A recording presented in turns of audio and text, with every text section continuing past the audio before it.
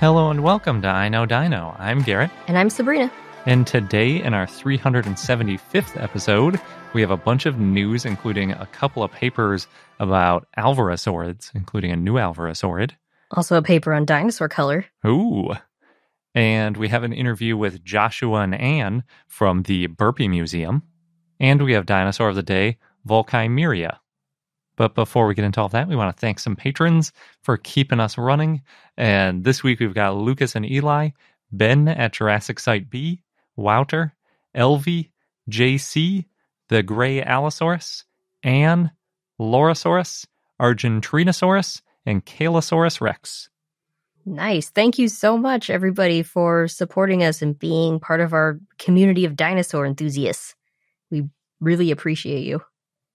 So, jumping into the news, we've got our Alvarezsaurid papers. I'm combining two of them because I started doing one and then I realized we needed the other one too for background. It's a two for one deal. It is, yeah. They're actually both written by the same authors, Alexander Averianov and Alexei Lopatin. They've both come up before in various dinosaur papers. The first paper was published in Systematic Paleontology. It's a redescription of Parvicursor remotus, and Parvicursor is an Alvarezsaurid from Mongolia. Alvarezsaurids are those small theropods that often only have claws, where you'd expect to see arms and hands and claws, sort of way reduced down. Although in general, they had pretty strong muscle attachment points to those claws. hmm They're a very mysterious animal. One of the most famous Alvarezsaurids, Mononychus, was the same size as a large compy, I would say, Oh, if you're thinking about the size of Alvarezsaurids. And Mononychus is sort of an average sized Alvarezsaurid. So they're very small, like Compsognathus sized. Parvicursor is the first Alvarezsaurid from the Khulsan locality in the Gobi Desert, and the Khulsan locality is part of the Barun Goyot Formation, which is early Maastrichtian, about 72 to 71 million years ago. It's a very specific time range because it's in between some other, probably more famous formations. yeah. Usually you don't get it down to within a million years. Yeah, yeah, it's a pretty narrow window. The Khulsan locality is located about 100 to 200 miles southwest of the Flaming Cliffs. So that gives you a rough idea. It's really far south and basically in the middle of Mongolia. Chronologically, it's just before the much more famous Nemegt Formation, which includes Mononychus and tons of other famous dinosaurs. I was putting together like a list of what's in the Nemegt Formation as a quick summary, and there's so many dinosaurs. I'm like, I'm not I even going to bother. quickly summarize. I'll just mention the most famous we Alvarezsaurid. talk about that formation all the time. Yeah, it's a really good one. It's got a lot of my favorite dinosaurs. Someone asked on Discord recently if we were going to recreate Walking with Dinosaurs, which formations we would do. And Nemegt Formation was like my number two, I think, after the Hateg Basin. Oh, yeah, those are good. I also said Elliot because I like to see the boundary between the upper and lower and how things changed. And the, the Triassic to Jurassic. hmm Yeah, that's true. I had nothing from the Triassic. I focus very heavily on Cretaceous dinosaurs for sure. Speaking of Cretaceous dinosaurs, like all Alvarezsaurids are, Parvicursor was named in 1996, and the holotype is very small. It's estimated to be about 39 centimeters or 15 inches long and weigh about 160 grams or 6 ounces. That's so small. It is tiny. That is about half the size of a compy or Mononychus. However, this redescription showed that the Parvicursor holotype was still growing. That happens a fair amount. Yeah, yeah, it can throw a monkey wrench into the phylogeny and figuring out how big dinosaurs were and how they were related and all that kind of stuff Yeah. because they change as they grow up, obviously. Yeah, Mussaurus. Yeah, yeah, that's true. And there are uh, famous cases of dinosaurs where we think as a juvenile they were one species and as an adult they were another species and then later they get lumped like Tyrannosaurus and Nanotyrannus. That debate's not over. It is not. I mean, it's really hard to prove any of these things. But in the case of Parvicursor, the size estimate of half a compy is probably too small, but we don't know what the more updated, they didn't give a more updated estimate of its size. They just say it was, quote, far from skeletal maturity. Hmm. So That can mean a lot of things. Yeah, we really don't know. And maybe it got as big as Mononychus, Mononychus. Maybe it got bigger. Maybe it didn't even get close because skeletal maturity also has to do with how bones fuse and stuff like that. It doesn't necessarily mean that they're really far away from how big they ultimately got. Overall, though, even though it's not an adult, Parvicursor and the holotype is still a very useful find. It includes most of the legs, hips, and vertebrae around the hips, meaning basically the base of the tail and back and sacrum. One foot also has two complete toes, meaning all of the bones of the toe, plus the claws at the ends of the toes. Unfortunately, it was the two smaller toes, so it's got the smaller claws, and maybe they would have been a little bit less functional. So we don't know if it had like a really big claw on its uh, dominant toe, I guess you could call it. The two claw bones that we have are both under five millimeters or a quarter inch long, which is obviously very small. Although they would have been longer when the dinosaur was alive and the claw bones were covered in keratin. So maybe like the size, I really think of it as the size of a modern bird, like a crow or something. Actually, I just looked it up. Crows weigh more than parvicursor probably weighed because hmm. they weigh they can weigh up to about a pound, at least more than this juvenile one weighed. I should specify. Right. We're not sure about the adult. Yeah. Unfortunately, since we only found those legs and the hips and that bit of vertebrae, we didn't find any skull or the quote unquote hands, which are really the most exciting parts. Oh, yeah. what was it doing with those claws? Yeah. And after Parvicursor was described, two more Alvarezsaurids were named from the Barun Goyot formation. There was Parvicursor first in 1996, then there was Ceratonykus in 2009, and Linhenykus in 2011. It's a good spot for Alvarezsaurids. Yeah, although this redescription and some other recent papers have pointed out there are virtually no differences skeletally between Parvicursor, Linhenykus, and Ceratonykus. Uh oh. And since all three lived at the same time and the same place, they could eventually all be synonymized or combined, maybe as different species of the same genus. But they didn't do that in this paper. No. They it was really weird the way they worded it actually, where it was like Linhenykus is just like Ceratonykus and also Parvicursor. like and when you look at the matrix of the characters that they scored, at least in this case, they basically all scored the same, which means every single attribute where it's like, did it have this bone oriented in this way, or was it convex or concave on this side of the bone? They were all the same in the factors they looked at. But I think there are some other minor differences possibly, but whether or not those are big enough differences to be outside of individual variation or ontogeny, since we know at least one of them was a juvenile and still growing, remains to be determined. So, just for clarity, the naming priority is the one that gets the most dibs is Parvicursor remotus. Because it was named first. Yes, in 96. Then Ceratonykus oculatus.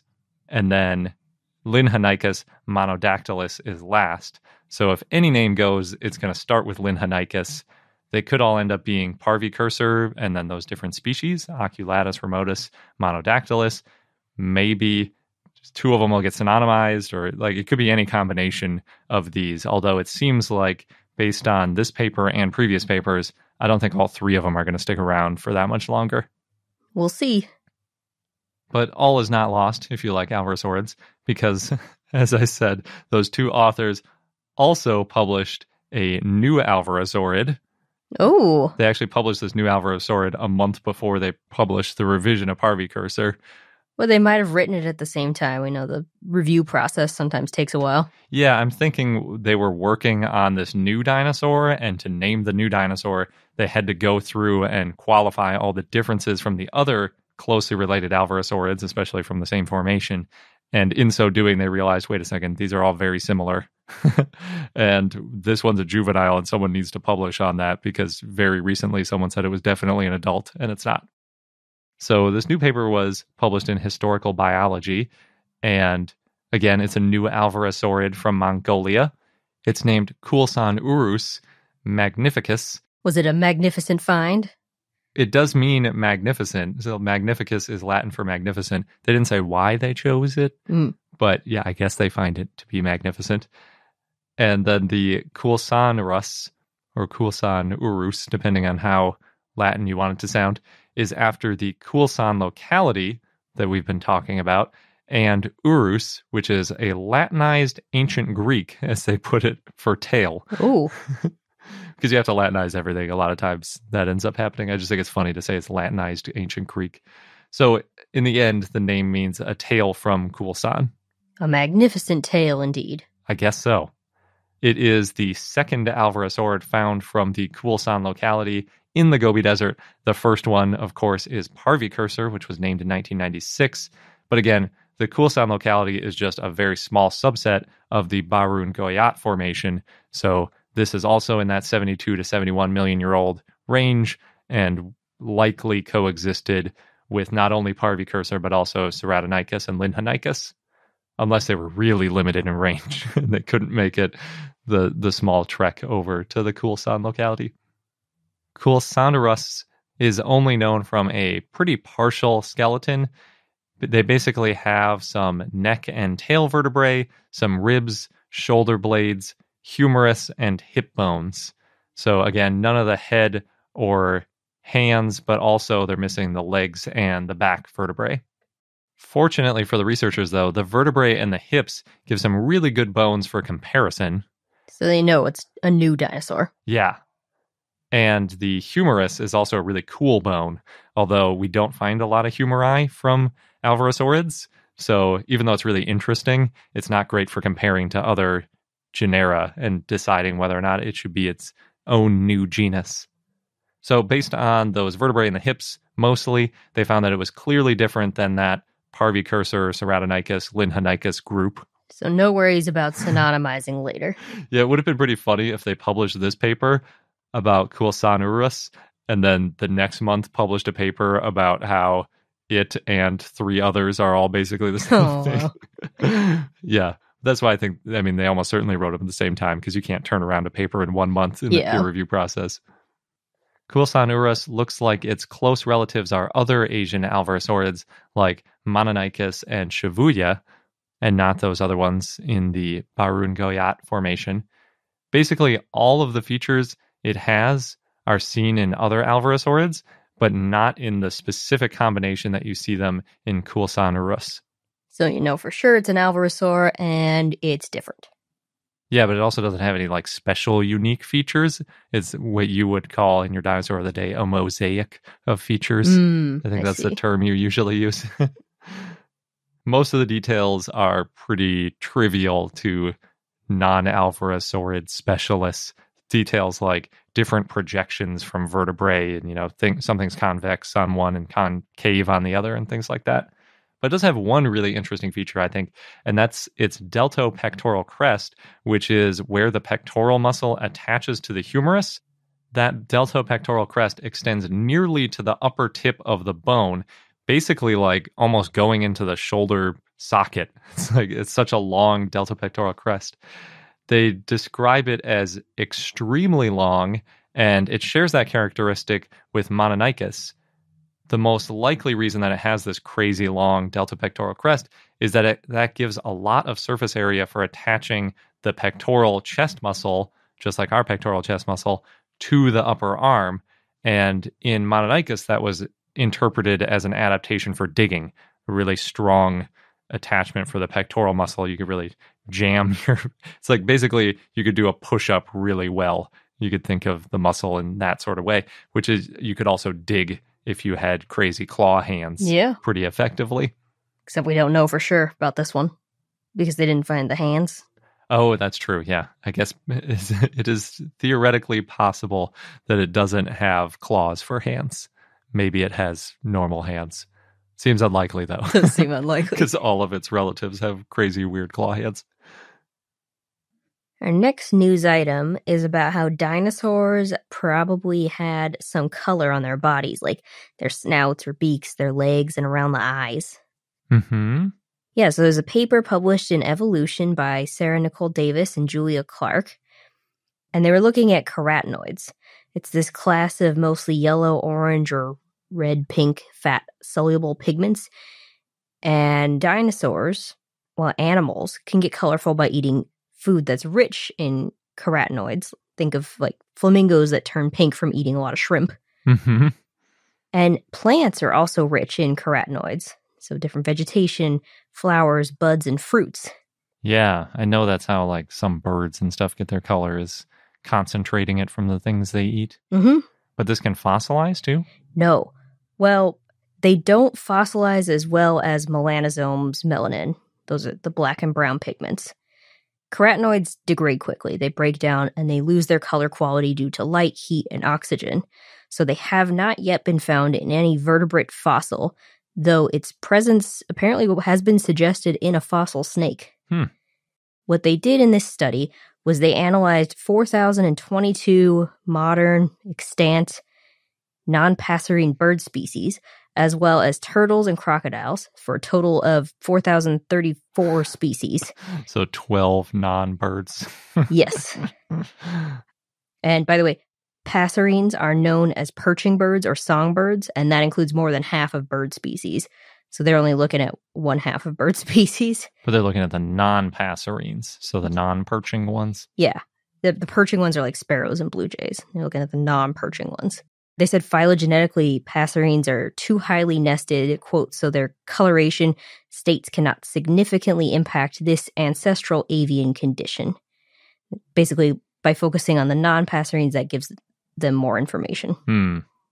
Because the passerines are all in one little niche of the family tree of dinosaurs. They're just, yeah, it's just too nested, too far. So were they studying these modern birds, some turtles, and crocodiles and trying to infer things about the archosaurs, all the extinct animals from it? Yes. And then they were mostly looking at birds. Yeah, 4,022 out of the 4,034 are birds. Yeah. they looked at the iris, face skin, beak, neck skin, legs, the skin and scales, neck integumentary structures like a crop or a wattle or a pouch on a bird, as well as plumage in birds. And they took into account seasonal color changes. They found that no carotenoid consistent coloration, so no colors from carotenoids, were found in the claws of birds. So it could be that a claw colored maybe a derived condition, something that came later. And they also looked at the iris, face skin, neck skin, and leg skin for turtles, and the iris, face skin, neck skin, leg skin, and leg scales for crocodilians. They looked at carotenoids to see if they affected the color of the skin and things other than feathers, because previous studies have found that carotenoid colors in bear skin, quote, can change rapidly, having color quality replenished as quickly as 48 hours after eating carotenoid rich foods. Oh, wow. Yeah. That's really fast. I guess, yeah, since it's not feathers, it doesn't need to grow slowly. Mm-hmm. It can just fill up the skin with color like immediately. That's crazy. Yeah, that it can change so quickly. So this is different from feather colors that can change when there's molting, and that's usually on a semi-annual or annual basis. Hmm. And they wanted to test the idea that carotenoid color in skin came before feathers. Ooh, that's a tough one to test. Yeah. They did find that birds were more colorful than previously thought, and not just in the feathers. If you look at living birds, there's combinations of 66 different carotenoid compounds, and they found carotenoids in the feathers of 33% of all major living bird groups in the group of birds that they were studying. So, colors from carotenoid in body parts other than feathers is more common than carotenoid in feathers. And that may mean that with feathers, they're modified seasonally or annually or intermittently, could be independent of these other integuments. Just interestingly, in penguins, there's chemical data found that carotenoids are present in the beak and the bare skin, but not in the yellow feathers. Hmm. But it's found in the legs and face skin and neck skin, for example. So it's getting that yellow pigment from something other than a carotenoid then. Yeah.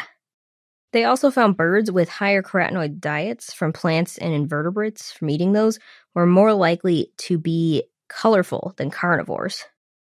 And herbivorous birds had bright colors in more places on their bodies than carnivorous or omnivorous birds. Huh. That's kind of surprising. Yeah. I was thinking of the like herbivores as trying to hide in the shadows and stuff like that, but they got more color. And turtles and birds express carotenoids in the integument. Crocodilians do not. And that could be because their carnivorous diets, the crocodilians just don't have enough carotenoids to color them. Hmm. So dinosaur diets might have affected their coloring as well. If you think about it, there's more rich carotenoid sources with angiosperms, and plants up until the late Jurassic had much lower carotenoid content than angiosperms. So maybe later dinosaurs were more colorful because the foods that they were eating didn't have carotenoid, but then angiosperms started popping up and that did have more carotenoid, so then maybe they got more colorful. Gotcha. That kind of throws a monkey wrench in our idea of what if there was a big pink fluffy T Rex. I you still never know. yeah, but it's unlikely, right? Because if if a lot of the animals that are carnivores are less colorful, then that means that T Rex might have been less colorful than some of the herbivores. This also is just a guide. The diet's more of a guide. It's not a straightforward indicator. And hmm. it's also really hard to categorize animal diets, especially when sometimes animals that eat mostly fruits occasionally also eat vertebrates. Now, in the study, they used phylogenetic methods and they found a 50% chance of carotenoid consistent expression. So the carotenoid affecting the color in the skins or things other than feathers in the most common recent ancestor of archosaurs. And again, that's that group that includes birds, crocodilians, dinosaurs, and pterosaurs. So they found it's a coin toss whether or not the common ancestor used carotenoids to pigment itself. Yes, in the ancestor, yeah, the most recent ancestor. This says there's probably about a 50% chance of the same thing in basal crown birds, but a 0% chance for feathers. So there's no chance that feathers had carotenoids coloring them Yeah, in the early days. yeah. Oh, that's interesting. And extinct archosaur skin scales and beaks may have had coloration from carotenoids. So they got one definitive result from it, and it's that feathers weren't colored by carotenoids in the beginning. Yeah. But it might have affected the skin or other parts. So for dinosaurs, they said, quote, in extinct groups, bare skin regions and the Rhamphotheca, a beak covering, especially in species with diets rich in plants, may express these pigments, which are not expected in feathers or feather homologs, end quote. And basically, it's good to look at bird colors outside of the feathers, you know, looking at the beaks and the skins, as well as the colors of bird relatives. Yeah, for sure. Especially because a lot of dinosaurs, I mean, from our perspective, the animals we care most about, a lot of them didn't have feathers, right? Like we don't think ornithischians had too many feathers. Yeah. Something like Triceratops, we want to know what color its frill was, or a big Parasaurolophus crest, what color that thing was, or a Stegosaurus plate. Yeah, it's the drawings that came with this, at least in one of the articles, are pretty fun because they kind of highlight where you might see the colors. And there's, for example, a Tyrannosaur, and they show coloring around the snout and around the eyes and the legs. And then right next to it is a duck, and you see the coloring in the snout and the or the the beak and the feet as well. They're using their modern analogs to get some ideas. Mm-hmm. That'd be interesting if T Rex was like duck colored, had like that nice green head or something. yeah. and then for a ceratopsian, they've got different colorings on like part of the back and the beak, around the eyes, and on the frill a little bit. Yeah, for sure. That especially the frill and the plates on Stegosaurus really seem like they would be good opportunities for some showy coloration. Mm-hmm. Hopefully, they figure out a way to detect at least some method of this carotenoid presence in fossils, Yeah, I want to know which dinosaurs were pink. or orange or green or blue. Yeah. But pink just seems like the ultimate, not what we think of dinosaurs as right now. Very true. especially since the big tough dinosaurs potentially could have some pink going on mm-hmm. exactly. and the modern birds the toughest ones are not pink Speaking of ceratopsians, I don't know how good of a segue that is, but I'm going for it. So, starting on March 12th, visitors to Melbourne Museum will be able to see Horridus the Triceratops on display. That's the world's most complete Triceratops skeleton. And we've talked about it before, but uh, now there's more details. It's part of the exhibit Triceratops Fate of the Dinosaurs. It's going to take up two stories of that museum, which is pretty cool. That's the one where they, when we visited, they had the Amargasaurus. oh that's where they're putting it Well, I don't know where they're putting it. I was just thinking in terms of two floors. hmm You could see the Amargasaurus from two floors. The first species named Triceratops was Triceratops horridus in 1889 by Marsh. So that explains how it became Horridus the Triceratops. And Horridus has 226 bones and weighs more than 2,200 pounds or 1,000 kilograms. In the exhibit, you can learn about Horridus's environment and other dinosaurs that lived around Horridus, as well as the process of fossilization. Cool. Yeah, Sounds like a good display. it does. Wonder if it'll travel back here. if we'll ever see our Triceratops again. In Cathedral City, California, they're getting 11 life size dinosaur sculptures along Highway 111. And it's part of this new art exhibit called Jurassic Wonders. They'll have it up in the next few weeks and then it'll be displayed throughout the year. And the photos, I think these dinosaurs are made of metal. Looks like it includes Spinosaurus, Velociraptor, some sort of sauropod, maybe a Apatosaurus. The artist Ricardo's been working on these for six to seven months and partnered with the nearby Museum of Ancient Wonders, which has an exhibit right now called Mesozoica, the Age of Dinosaurs. And that includes fossil casts from more than 30 museums around the world. And they've got fully mounted dinosaurs, skulls, teeth, claws, and eggs. Hmm. I appreciate that they named it Mesozoica Yeah. rather than every other thing names it Jurassic something or occasionally Cretaceous.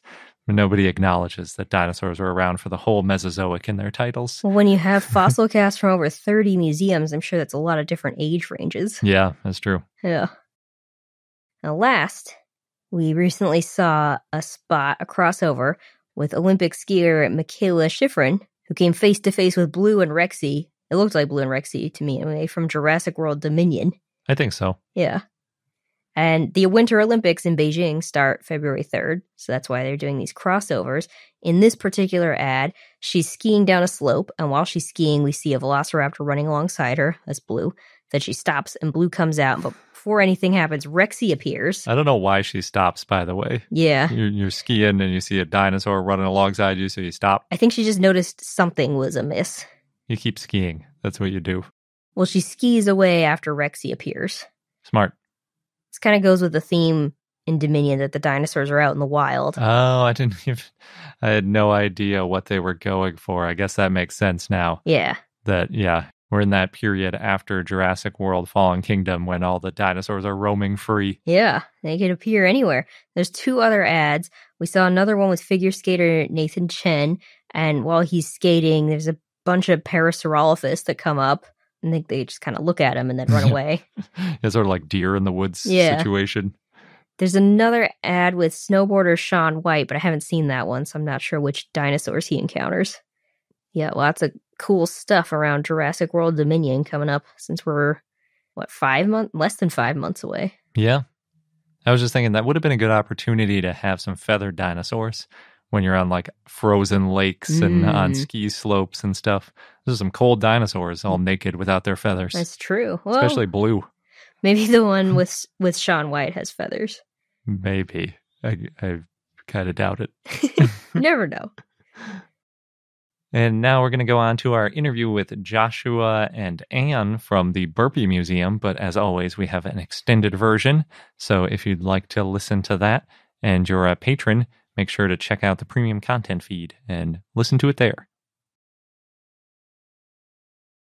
We're joined this week by Joshua Mathews, a PhD candidate at Northern Illinois University, Director of Paleontology and Vice President of Research and Operations at the Burpee Museum, and Anne Weerda, Executive Director, also at the Burpee Museum.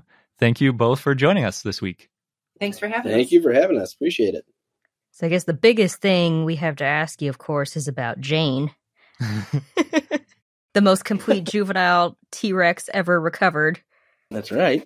I notice. Uh, it seems like Burpee Museum is Team T Rex for this. No Nanotyrannus. That's correct. That is very correct. So I guess can you tell us like how was Jane discovered? How did that come to your museum? All that good stuff. I'd say it was in 2000. The University of Wisconsin Madison was actually running uh, paleontology crews out to southeastern Montana, mostly graduate and undergraduate student led. And they had contacted the former curator of Earth Sciences here, Michael Henderson, and basically said, you know, you guys should really come out to Montana with us. It's a it's a small enough operation. There's a lot of land that needs to be prospected, and we think that's something that the Burpee, you know, could pull off. So in 2001, no, no, it was, it was still 2000 actually. Michael Henderson and then uh, my predecessor here at the museum, Scott Williams, went out and they spent a week or so out there with the UW crew, kind of just poking around the hills, hiking, looking for fossils coming out. And essentially at the end of the trip, they decided, yeah, this is this is probably something the Burpee could undertake. So in 2001, we basically started what we call our Highway to Hell Creek program. basically, people from Rockford can join, you know, follow the team out, follow, be part of the crew, go out and hike mm-hmm. around, and again, just kind of poke around and see if we can get lucky and find anything. So, in 2001, that was the first the first year that we went out, and again, I think entirely people from the Rockford area went out and spent a couple weeks out there hiking around and you know you find if, if you've ever been in the hell creek formation out west or the lance formation in wyoming you find bone float typically all the time. Little chunks of bone may, might not be able to identify it. Chances of finding where it was coming out of the hill is very small. However um, you get lucky and it was towards the end of that expedition where uh, a phd professor Bill Harrison and a local Rockford resident, Carol Tuck, found some toe bones eroding out of one of the hills, and they they took them and they showed them to Michael and Scott, and it was quite clear that they belonged to a theropod dinosaur, smaller, um, but definitely wasn't a, a large T Rex by any means, but they knew it was important, so uh, they started digging into the hill and they they began finding more.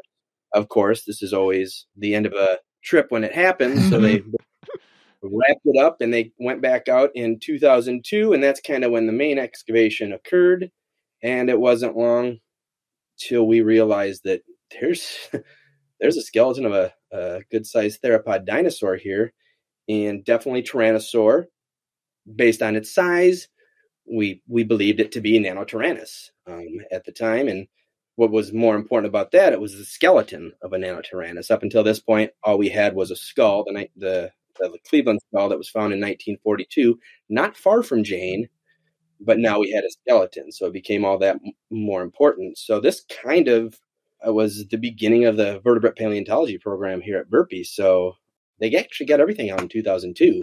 We had large uh, excavators from uh, Ekalaka come out and remove overburden from the site because we had there was quite a bit above the bone bed. So we brought heavy machinery out, took a good chunk of that hill out to get down to the bone bed, and then, you know, twenty thousand pounds later, we got, you know, chunks of rock here back at the in the small Burpee lab. Again, at the time, our our, our lab was pretty tiny here. Mm-hmm. An article I read, uh, the quote called the "the little museum that could." yeah, yeah, and it was, you know, this was again, we weren't anticipating this. This was the first expedition we ever did, and we weren't expecting quite a find like this. So we realized what we had was incredibly important to the museum and potentially to science. We weren't trained in fossil preparation. We weren't really ready for this. So basically, we partnered up with a field museum in Chicago. A lot of them, Jim Holstein, Connie Van Beek, Akiko Shinya, they all came out and basically taught our staff how to do fossil preparation, how to clean up these dinosaur bones and extract them from the rock unfortunately, I came in a couple years after Jane was found, so I wasn't part of the the preparation process. However, um, I got to see the tail end. They were pretty much finishing up prep work by the time I got here.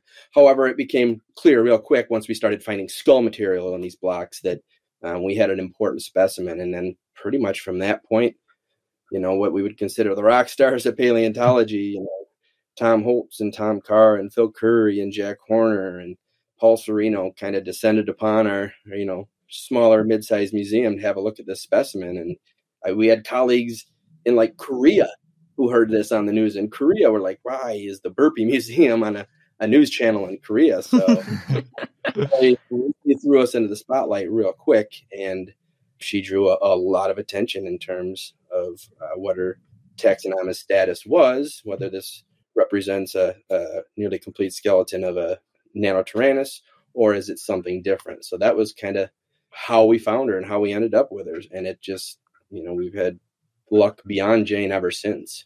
That's amazing. Uh, and also the fact that it started with toe bones, it's kind of like the ideal.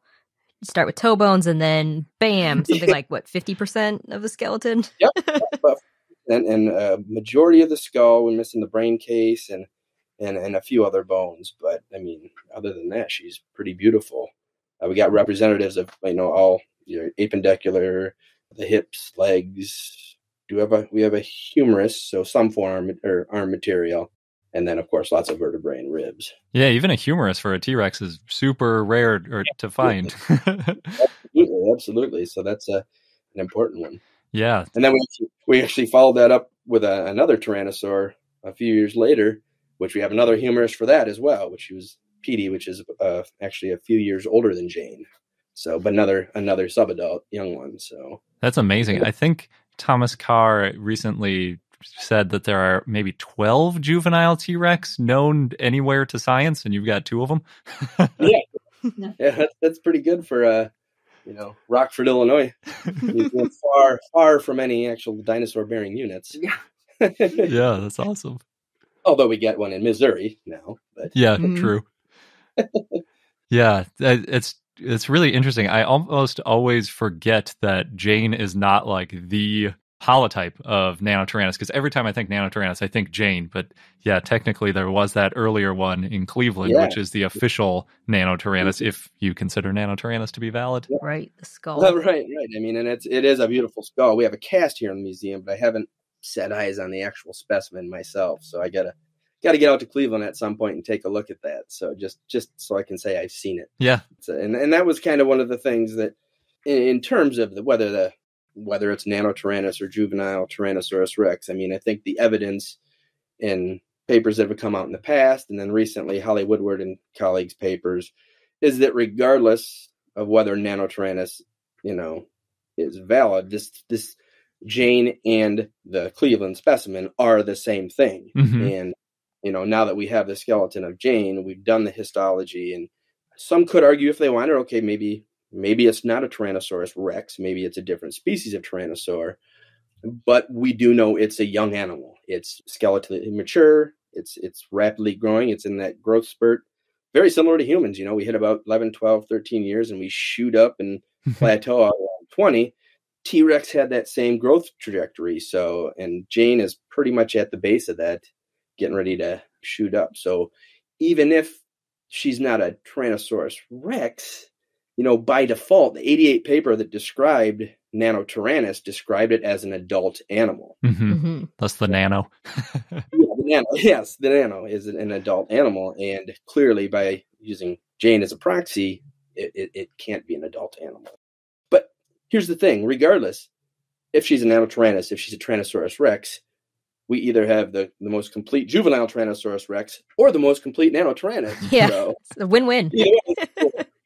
Win-win for the museum. So, and, and and to be honest with you, I don't care one or the other, but the evidence so far to this point suggests a juvenile Tyrannosaurus Rex. Is Petey much bigger than Jane then, since Petey's a little bit older? Uh, not much, to be honest with you. It, it, a little bit, but we don't have nearly what we had for Jane. She's Petey's really incomplete. Actually, we have a leg, basically a lot of foot bones, tibia, femur, uh, scapula, several large claws, and some vertebrae. So it's she's you know Petey's far far less complete. However, we have the appropriate bones that we can that we need to do histological analysis. So that was the important part there. Hmm. And you know a lot of the the nanotyrannus pro nanotyrannus big things is the claws because the Petey specimen has massive claws, which wow. are larger than Sue's actually. Wow. Yeah. Is that those are hand claws, right? hand claws, yeah. Yep. We got that we got a thumb claw, the first digit from each, and then the, the second digit from one one of the arms. So we got three large claws from the site.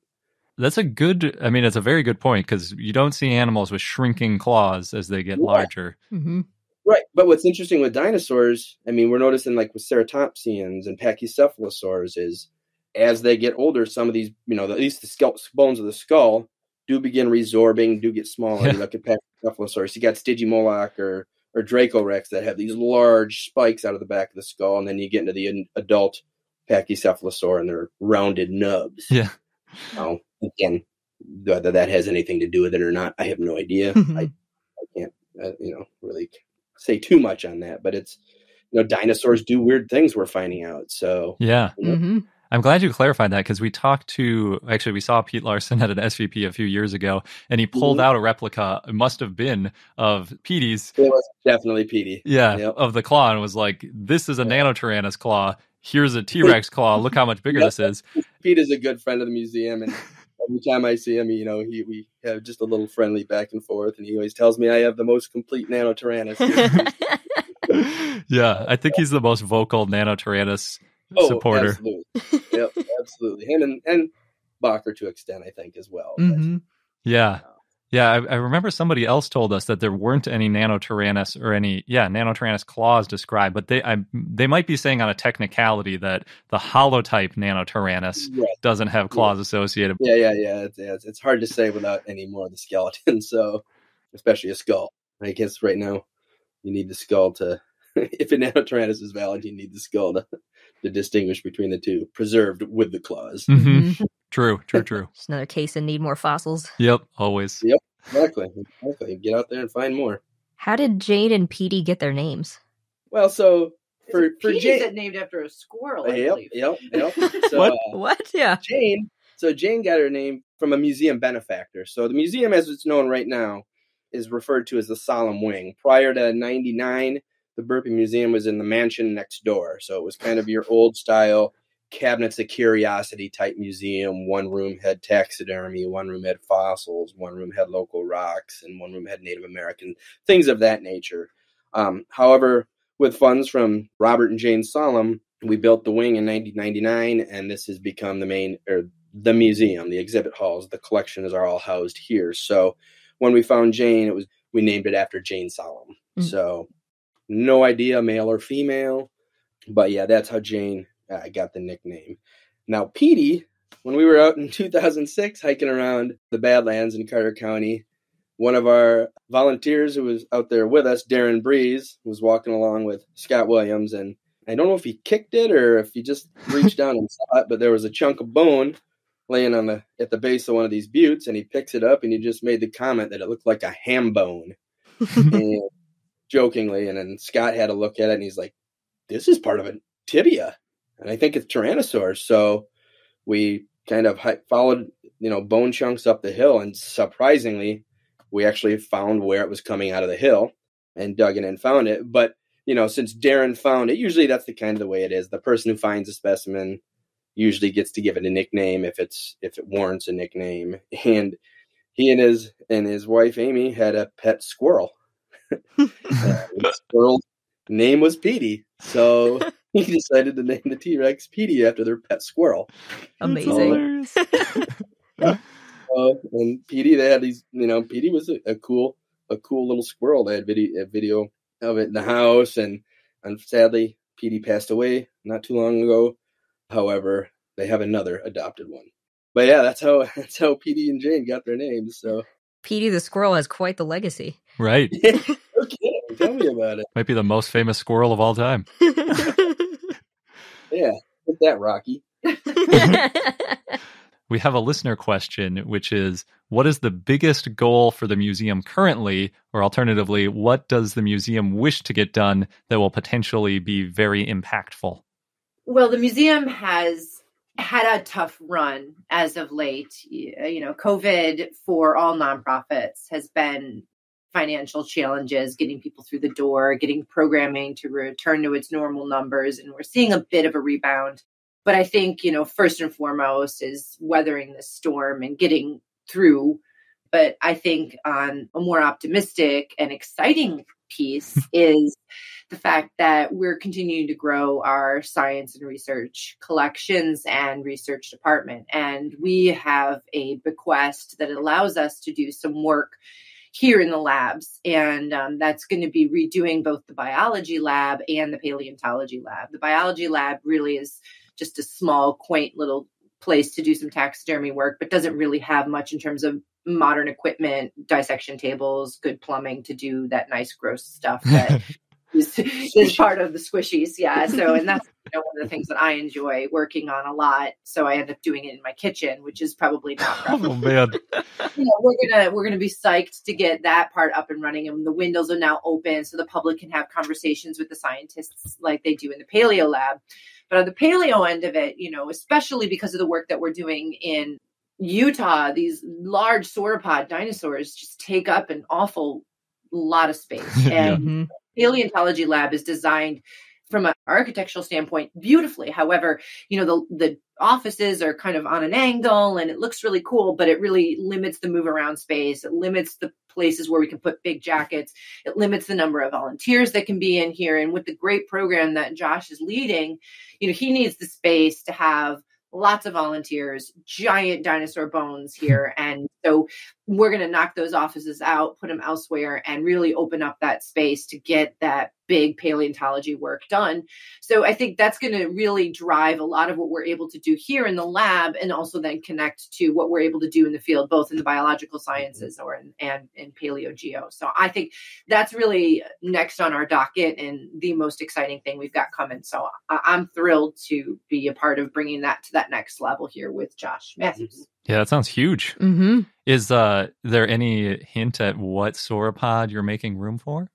Well, so are, are you familiar with our Hanksville burpee dinosaur quarry? I don't think so. Mm-mm. Okay, well, so in Hanksville, Hanksville's in southern Utah. It's the Morrison Formation, so Jura- Jurassic Age, latest Jurassic. When I talk about our Highway to Hell Creek program, so the way we used to run it is we'd go out to Montana, Ekalaka, Montana, mid May to mid June, come back to Rockford for a month, and then go back out mid July to mid August. However, in May for several of those years, we got a lot of weather, a lot of bad weather, rain, and if anybody's ever driven in any of these dirt roads out west, when it gets wet, it turns to axle grease and you can't drive on them. Hmm.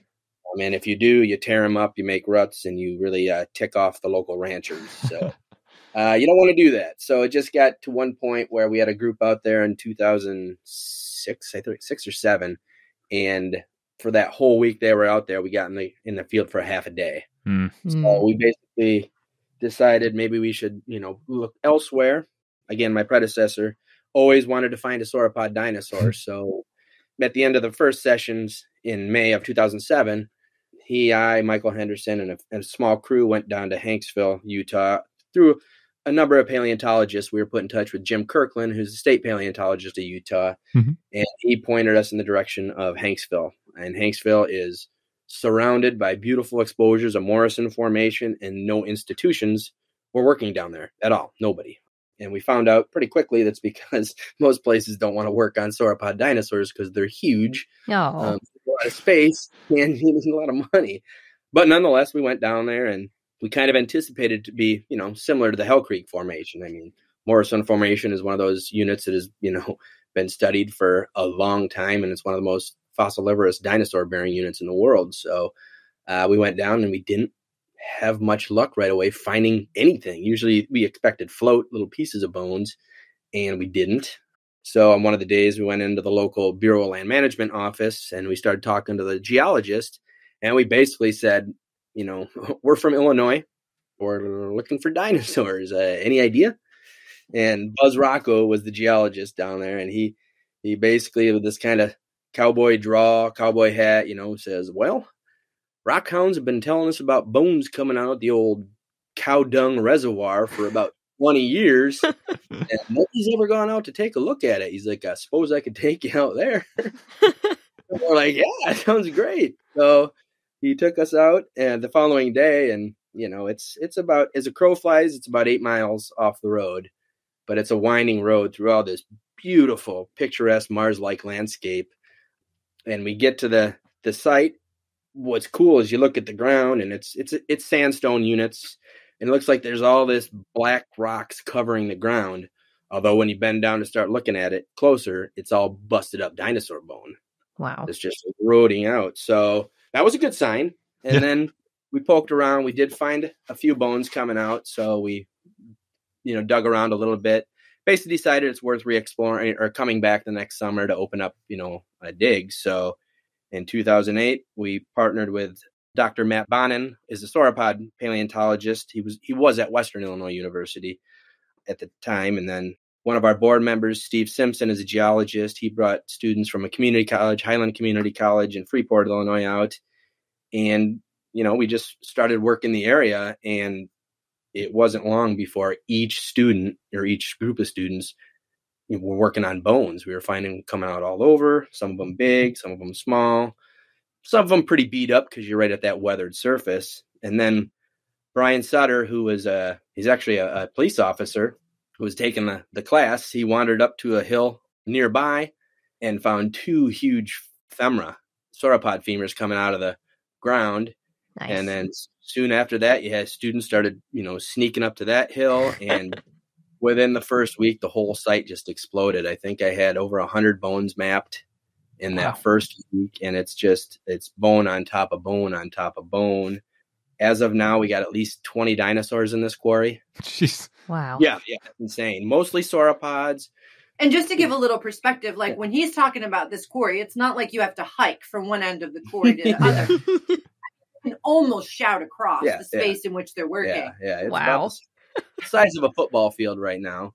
Somewhere around there maybe not even that big probably. But uh it's just it's a jackstraw bones. It's it's when I say 20, I mean, you know, we can base that off of species or number of, you know, say left shoulder blades. You mm-hmm. know, we have, you know, five left shoulder blades to a diplodocus, something like that. So it's probably likely far more than that. But we have for right as of right now, I think we're at eight species.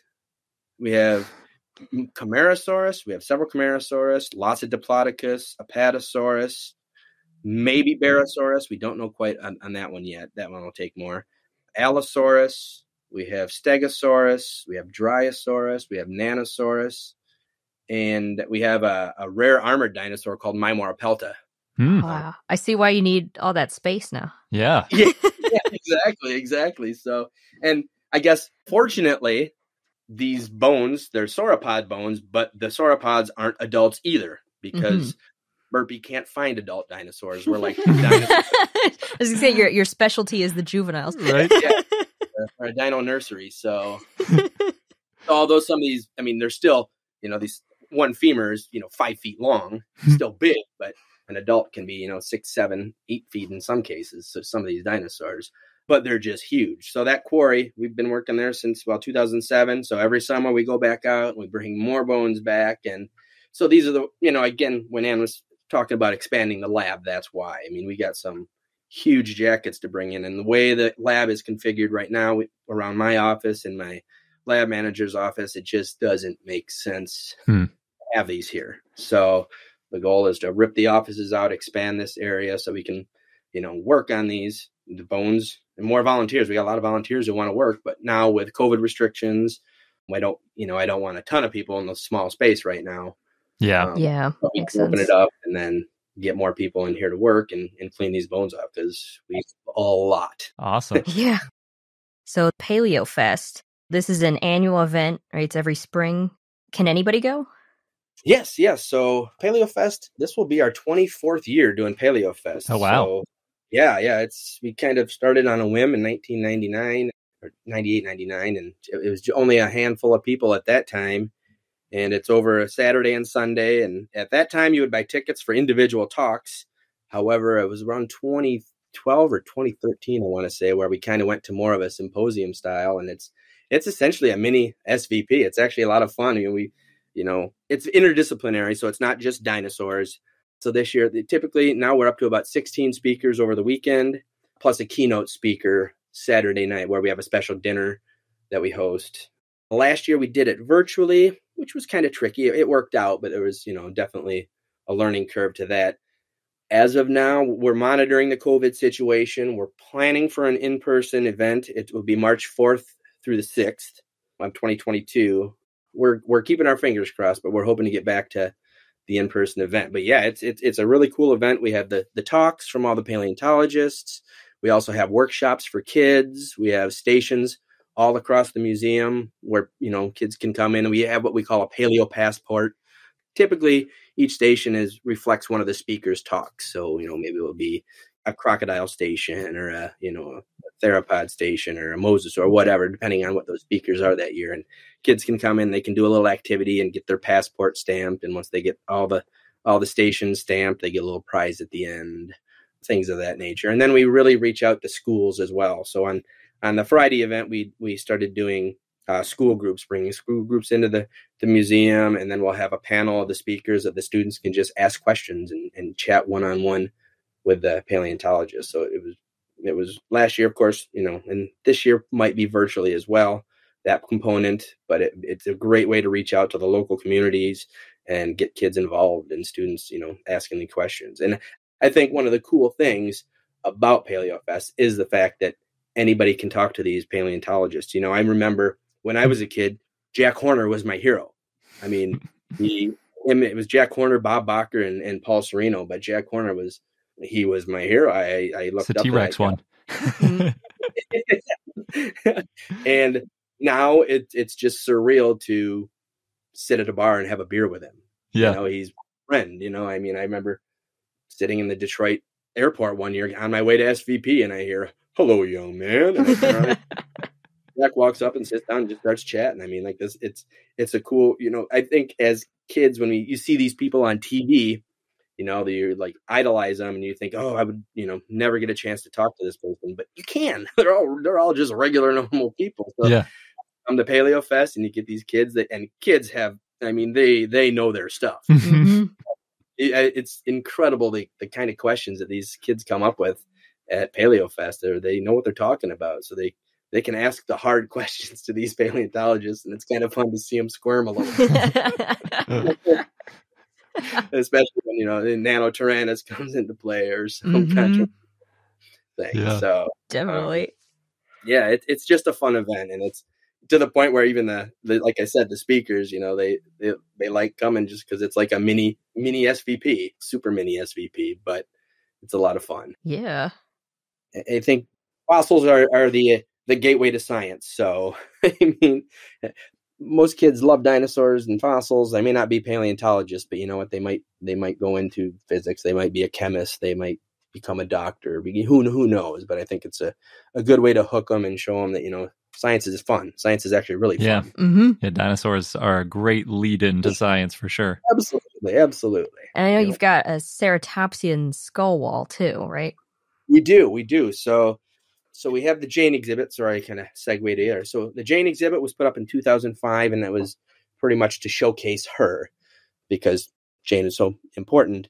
And then my first expedition in 2005, because we put Jane exhibit up in June of 2005, the end of June. We actually didn't plan on doing a dig in Montana that summer, just because the effort that needed to go into this exhibit. So uh, we put up the exhibit, and it was probably a week later, and basically Scott got the itch to go back out. He's like, I don't want to. so he's like, let's just a small crew go out, spend a few days out there, and see what we can, you know, find. So we did. And Stephen Brusatte and Thomas Carr was out on that day. It's the first time I met those two.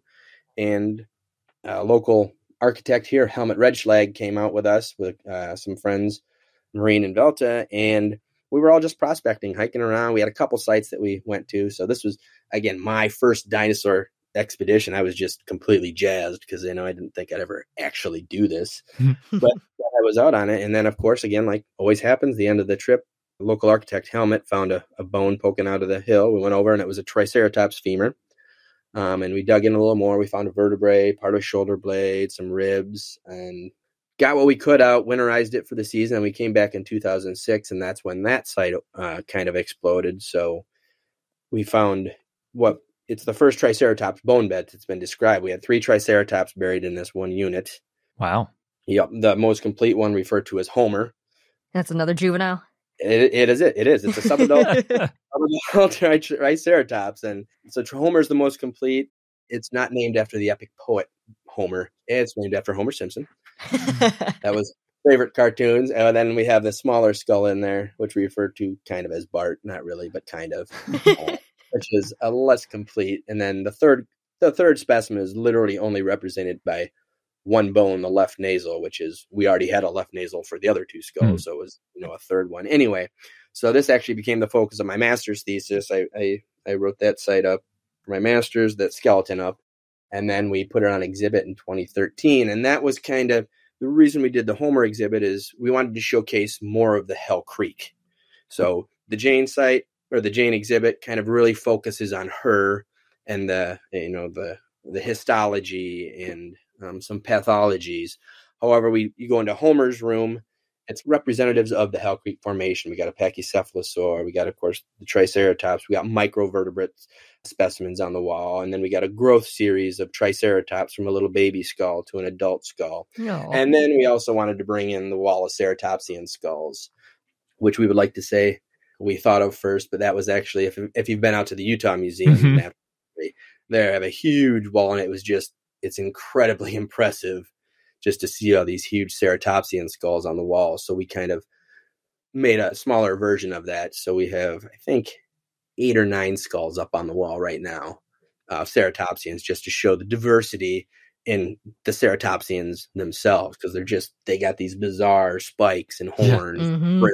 And they're just that's the ceratopsians are my favorite of, of all the dinosaurs just because they're so bizarre. Yeah, they are awesome.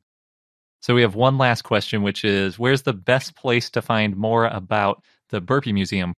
burpee.org if you go there we have information about our educational program about our exhibits. Um, there should be a tab for our expeditions. So yeah it's burpee.org go there search around peruse the site. You can see some of our exhibits. We you know the silver lining i guess of covid is that it, allowed us to basically digitally scan the museum so we Hmm. we have what's called a matterport camera which they actually are used for the real estate industry you go to scan you know houses so you can walk through a house on your computer however we did that with a museum so Oh, nice. scan the museum and you can do a, a virtual tour. A lot of that was for educational programming, so I'm not ex- I'm not certain if all of that's online at the moment. But yeah, just go check it out, and, and then if you like it, come visit us. Awesome. yeah, Yeah, we got to make it out there. definitely. Yeah, absolutely.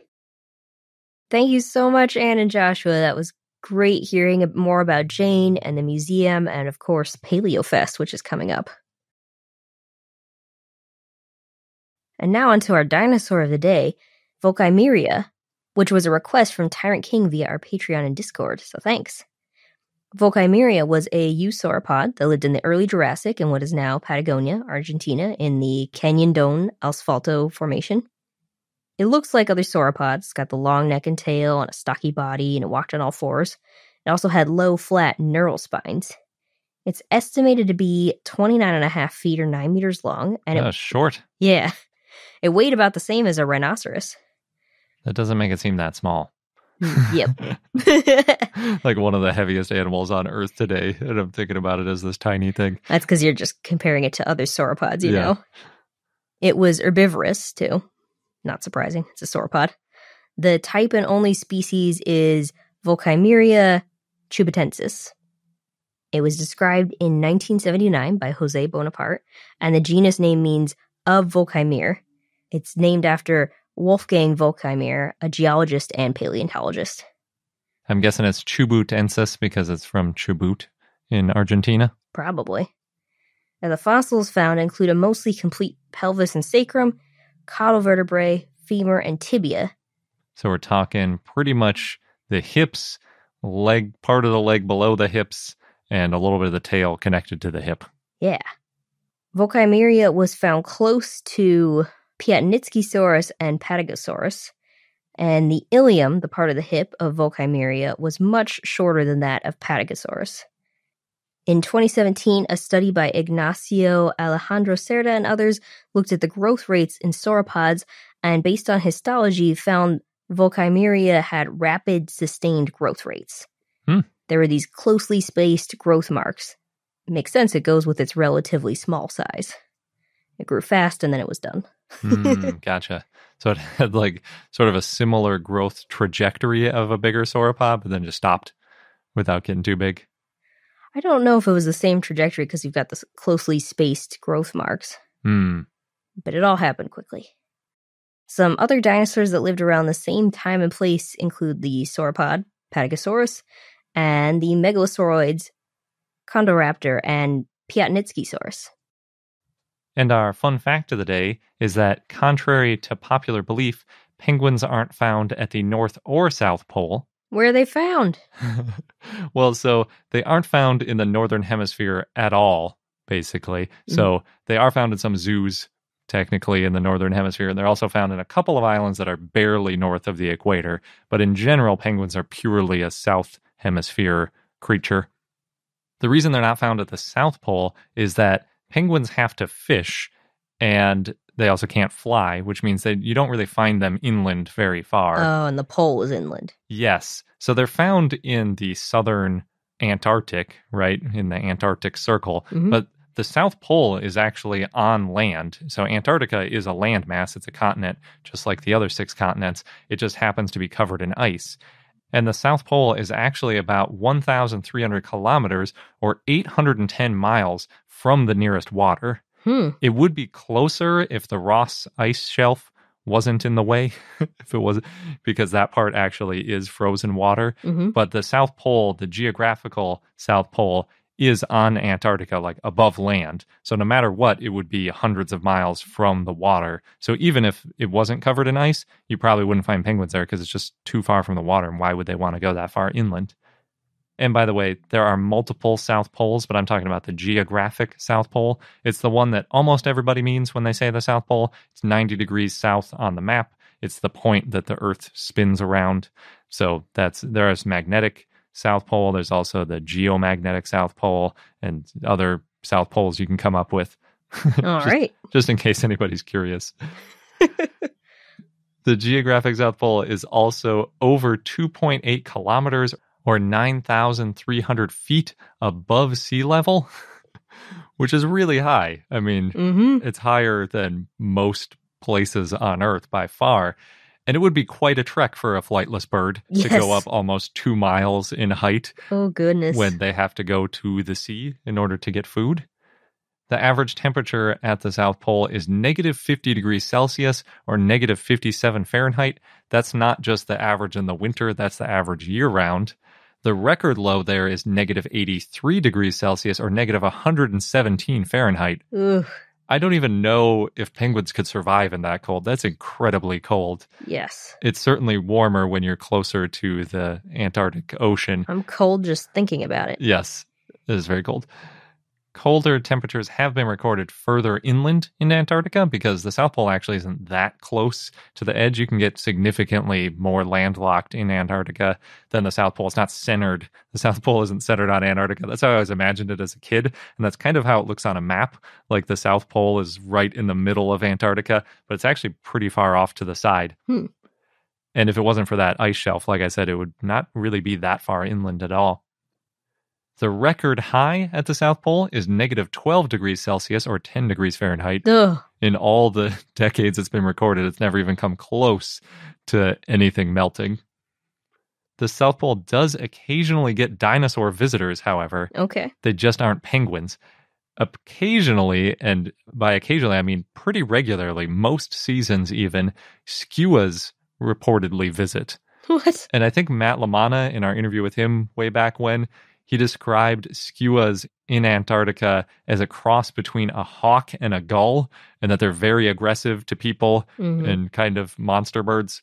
They have to be to survive those temperatures. It is very harsh to live in the Antarctic. The skuas that reach the South Pole probably get blown off course during mating season. That's usually when they find them in December, basically in the middle of their summer. Although other Antarctic birds have reportedly been seen, I just couldn't verify it with anything. The only one I could verify was the skua because I found some photos of it. And actually, there were researchers taking pictures of the skua. And you can tell in the picture, it looks like it's attacking a flag. And their description was that it was trying to eat one of their orange flags that was out on the ice. Could it digest a flag? No, I think it was probably very hungry because it had to fly hundreds of miles from any even remotely nearby saw- food source. And it saw uh, something orange and thought maybe that's food. Yeah, I think so. My fun fact was originally going to be that the only living creatures at the South Pole are humans and dinosaurs, which I think is true because I think it's just the occasional dinosaur plus people that's hang out there. And a lot of places do say there are no living things at the South Pole because it's just so cold. There's no soil there, there's no sunlight for half of the year, and you know, there's no ocean water or anything. So Mhm. it's pretty much the most inhospitable place on all of Earth. It would be the inland part of Antarctica. I was thinking of the people as dinosaur visitors in the sense that they're visiting the dinosaurs that Yeah. live there. It's really the dinosaurs that visit them for once. Yeah. because they're rarely actually at the South Pole. But I should mention dinosaurs have been found very close to the South Pole, actually. Glacialosaurus and Cryolophosaurus were found at around 84 degrees south, which is obviously very close to 90 degrees south. hmm It's just a few hundred miles from the South Pole. It was much warmer then, though. Yes, and it may not have been. I, don't- I couldn't find exactly what the paleo latitude was for them, but you did cover Cryolophosaurus in episode 68 and Glacialosaurus in episode 168. I don't think there was a reason that they were exactly 100 apart. no, it's a coincidence. Yeah, but pretty interesting. And that wraps up this episode of I Know Dino. Thank you for listening. If you're not already part of our community, consider joining patreon.com slash I Know Dino. Thanks again, and until next time.